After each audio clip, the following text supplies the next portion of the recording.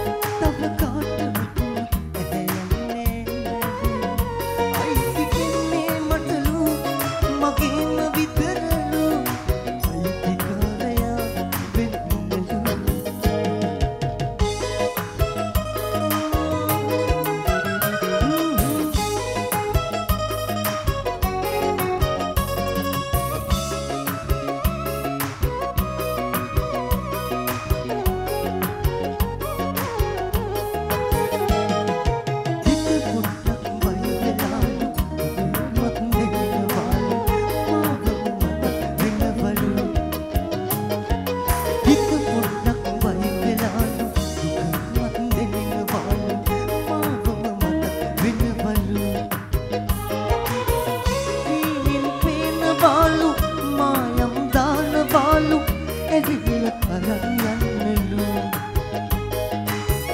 Evine param yanmelu Vin kaakewat vinnuට බෑලු තව කාටවත් ඇහැ යන්නේ අයිති වෙන්නේ මටලු මගේම